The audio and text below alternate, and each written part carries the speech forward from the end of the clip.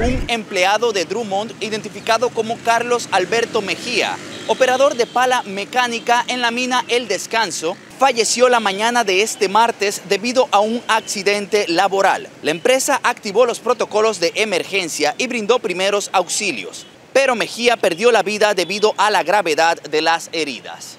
Una fatalidad ocurrió la mañana de este martes en la mina de El Descanso, operada por Drummond cuando Carlos Alberto Mejía, operador de pala mecánica, sufrió un accidente mortal. Según fuentes de la empresa, los protocolos de emergencia fueron activados de inmediato y el personal de seguridad industrial y salud ocupacional proporcionó primeros auxilios al afectado. Sin embargo, Mejía falleció al llegar al centro asistencial debido a la gravedad de sus heridas. Las autoridades competentes fueron notificadas del incidente y Drummond expresó sus condolencias a la familia del fallecido Representantes del Departamento de Recursos Humanos de la empresa están disponibles para ofrecer asistencia. La compañía inició una investigación para determinar la causa raíz del accidente e implementar medidas correctivas para prevenir futuros incidentes. Este trágico suceso pone en evidencia la importancia de la seguridad laboral en las operaciones mineras y la necesidad de reforzar los protocolos de emergencia.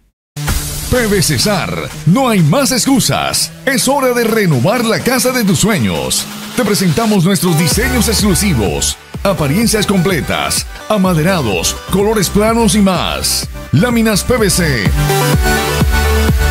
WPC, V. Toda la estructura para tu cielo raso.